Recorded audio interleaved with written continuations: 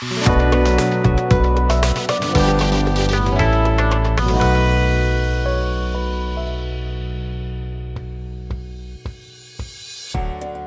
to add, or delete primary key in Microsoft Access.